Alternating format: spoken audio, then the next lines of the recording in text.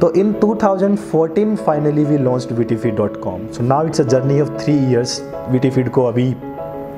सितंबर 21 में तीन साल कंप्लीट होने वाले हैं। When we started this whole thing मतलब हमको साथ में काम करना है या फिर कुछ करते हैं, चलो यार, कुछ ऐसा करते हैं। हमने एक चीज़ बड़ी क्लियर करी थी हम तीनों के बीच में। Of course one is my real brother and one is अब मतलब वो रियल ब्रदर से भी ज़्यादा अच्छे ब्रदर हैं मतलब ऐसे हम तीनों साथ में हमारी बॉन्डिंग है एक्चुअल में। एंड जब हमने बिज़नेस स्टार्ट किया था तो हमने अपने आप से एक बात की थी कि, यार, ठीक है we are doing business that is one thing we want to make money that is another thing we want to create impact that is another thing but उन सबसे पहले एक चीज़ आएगी, वो आएगी the bonding and the relationship which we are having और उसमें कभी भी बिज़नेस नहीं आएगा।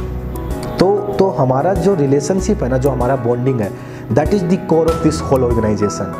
so हम तीनों आपस में इतने इतने डिफरेंट तरीके से रहते हैं मतलब कि कि आ, वो चीज़ें फिर हमारी टीम के अंदर जाती हैं सारी की सारी। So this bonding this relationship this this connection of all three people are something which is making this this witty what feed is today. And yes of course वो पूरा का पूरा फिर इस टीम के अंदर गया है सारा का सारा। एंड वी बिलीव इन कि कभी भी कोई भी बड़ी चीज़ को हासिल अकेला नहीं किया जा सकता है। तो we are the people who wanted to go a long run और for long run you need more people with you so yes, of course, now we have team of 120 people and everybody is amazing. Everybody is excited about the dreams which which we all want and yes, सबका एक ही vision है हम सबका कि हम कहाँ पहुँचना चाहते हैं। तो तो team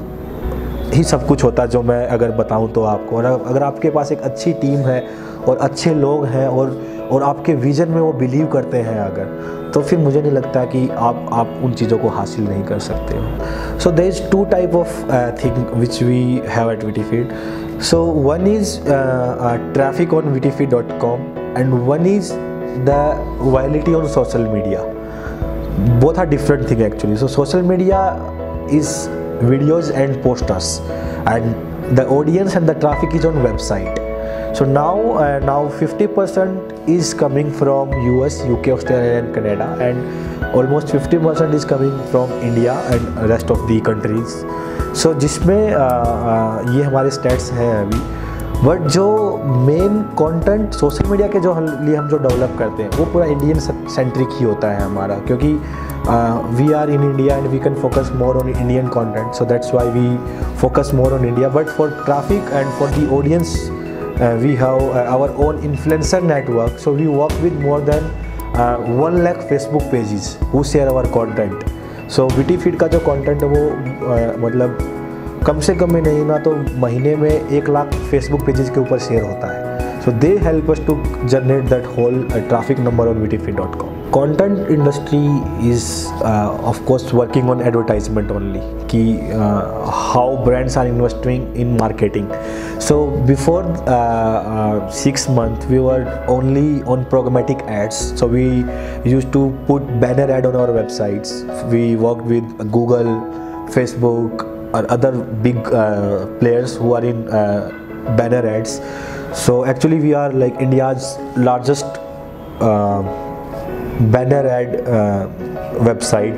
for Google and Facebook so हम हम गूगल के टॉप टेन अकाउंट्स में आते हैं एक्चुअल में if you talk about that programmatic ads so one revenue model is of course programmatic ads जहाँ पे हम बैनर्स लगाते हैं वेबसाइट के ऊपर with different sizes and uh,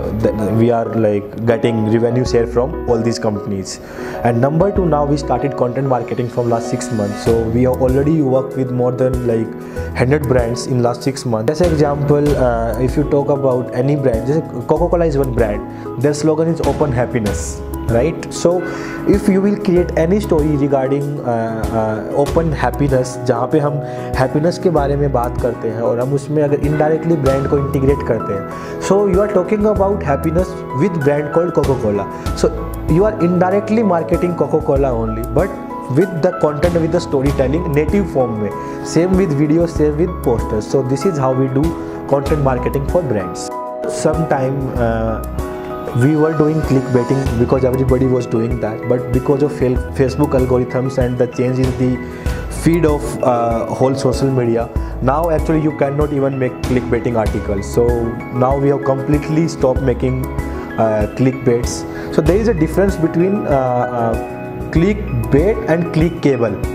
so you can make clickable article but not clickbait clickbait is something which when you are misleading the user from the real content so